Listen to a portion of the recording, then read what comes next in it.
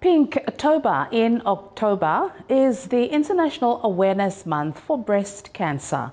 In recognition of this initiative, Miss Solomon Islands, Elsie Polosovai, will host a fundraising in New Zealand called Bakes for Breast Cancer on Saturday, October 26th.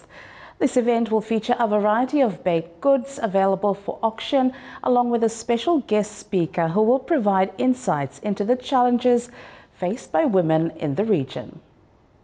Um, to end off Pinktober, which is the internationally recognized month for raising awareness on breast cancer, I will be hosting a fundraiser event here at the University of Otago this coming Saturday, the 26th of October.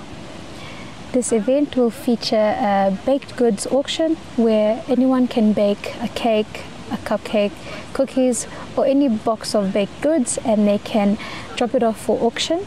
People will place bids on these baked goods and the person with the highest bid will win the product and the cake. And all proceedings from this fundraiser will go towards supporting initiatives treatments and awarenesses that are related to breast cancer in the Solomon Islands.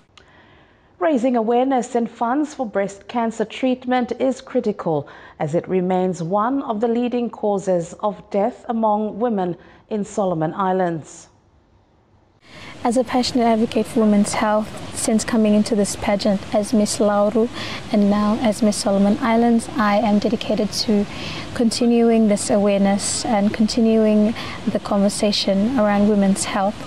I think it's important that we um, spend time and investing in awareness because that's the only way that women are able to pick up on early symptoms of breast cancer, for example. Early detection is particularly important because it helps to treat breast cancer more effectively. And it was emphasized to me by the oncology experts at NRH that women need to know these self um, breast examination techniques so that it will help them pick up on symptoms much earlier on before it gets more serious. Pinktober aims to raise awareness globally, offering a platform for individuals battling the disease and survivors to share their stories while commemorating those who have lost their fight against breast cancer. Miss Solomon Islands Elsie Polosovai is based and is currently studying in New Zealand.